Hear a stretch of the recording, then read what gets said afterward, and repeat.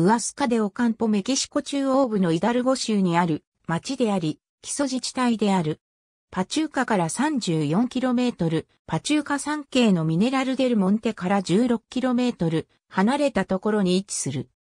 町自体は山脈の内側にあるが、自治体の領域の多くは町の東に広がる谷に位置している。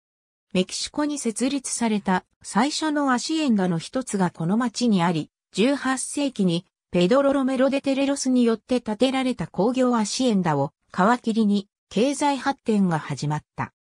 20世紀の半ばには、これらのアシエンダは公営の内となったところ、さらにはダム湖に全部、もしくは一部分が沈んだところさえいくつかあり、どれも残存していなかった。この地域では農業は経済的に重要なままであるが、峡谷や伝統的な家屋、かつてのアシエンダの施設、滝などを呼び物とした、とりわけ、メキシコシティから週末に来る観光客向けの観光地として進行されている。2001年メキシコ政府観光局により、魔法のように魅惑的な場所プエブロ・マヒコに選出された。もともとこの地域は、ハスカゼーロイアと呼ばれていた。この地名は、ナートル語から来ており3つの意味が考えられている。